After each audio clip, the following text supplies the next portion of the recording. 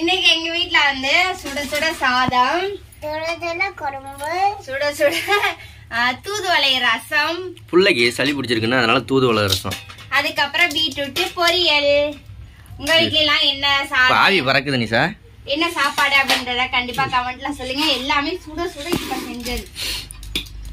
பாப்பா தூதுவளை ரசம் பிடிக்கும்ல பாப்பா உனக்கு? ரசம் உப்பு இருக்கான்னு பார்த்து ஊத்து. சோறு ஆறட்டும் சோறு ஆறட்டும். அவனுக்கு தட்டு. உப்பு போட்டு ஊத்துறியே. ஏ இரு பாப்பா மிளகாவெல்லாம் எடுத்து போட்டுருவா பாப்பா மிளகாவெல்லாம் அப்புறம். ஆ.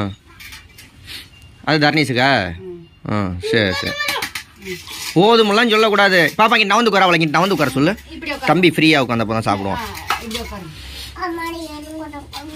குழம்பு. ரசம் அது குழம்பு இல்லை. இன்னும் கொஞ்சம் ஊற்றி விடு நல்லா ச சளி போவோம் அப்போ தான் ஏய் ஊற்றி சாப்பிட்றேன் நல்லா சல சலம் பிடிக்காதெல்லாம். பிடிக்காத பிடிக்காது. வீட்டில் இருக்கிறத தான் சாப்பிட்ணும். ஆ ரசம் சாப்பிட்றீமா இல்லை நீ? ஓகே ஃப்ரெண்ட்ஸ் பாய் பாய் பாய் அது யாருக்கு? என்ன சாப்பாடு அப்படின்றத மறக்காமல் கமெண்ட்டில் சொல்லுங்கள் பாய்